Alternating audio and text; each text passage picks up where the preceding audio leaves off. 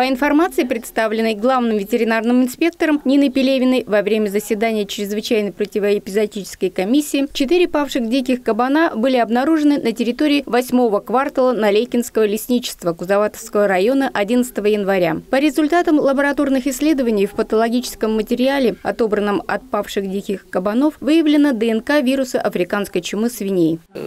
Мы не ставим окончательный диагноз на территории Ульяновской области. По законодательству Российской Федерации пробы были отправлены в город Владимир, Всесоюзный научно-исследовательский институт защиты животных.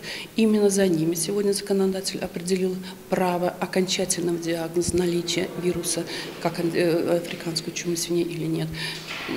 15 числа мы получили оттуда протокол заключительный о том, что данный диагноз подтвержден. В настоящий момент наложены карантинные мероприятия на очаг африканской чумы. По словам главного ветеринарного инспектора, под первую угрожаемую зону не попали населенные пункты, а это значит, не пострадают животноводческие хозяйства. И там, в общем-то, численность 160 голов свинопоголовья. Но, проведя расследование, мы приняли решение, что будет эпизодический очаг, и э, данное население сегодня не попадает под изъятие свинопоголовья. Проведем дополнительное мониторинговое исследование. Нужна, конечно, широкая разъяснительная работа. Ну и в целом, я думаю, в течение месяца окончательное мероприятие по ликвидации эпизодического очага мы проведем.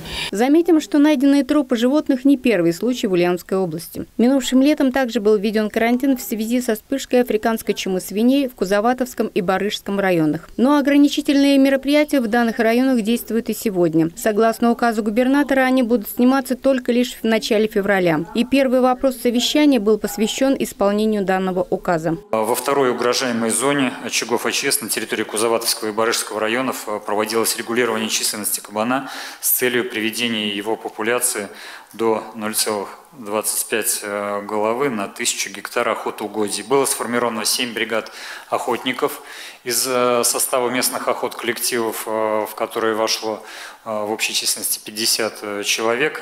Данные бригады работали у нас на территории Кузоватовского, Теренгульского районов, а также в Барышском, Николаевском районе. Участники совещания также отметили, что были немало удивлены, почему в одном месте найдено сразу четыре трупа кабанов пораженных чумой. Как правило, их встречают единично. По этому поводу будет проведено отдельное расследование. Специалисты предполагают, что не обошлось без участия человека. После уточнения данных будет проведена дезинфекция машины, в которой проводилась перевозка опасного груза, и одежда людей, участвовавших в данной перевозке. Ирина Антонова, Юрий Ломатов. Новости Улправда ТВ.